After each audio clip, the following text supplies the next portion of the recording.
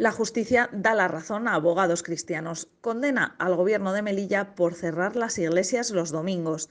El gobierno autonómico utilizó como excusa el coronavirus para aplicar esta medida totalmente desproporcionada que atenta contra el derecho fundamental a la libertad religiosa y que estuvo en vigor durante cinco semanas entre enero y marzo de 2021.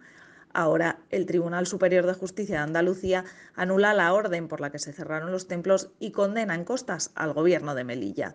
Abogados Cristianos confía en que estas condenas sirvan para obligar a políticos laicistas radicales a respetar los derechos fundamentales y recuerda que gobiernos autonómicos y locales no tienen competencias para restringir derechos fundamentales.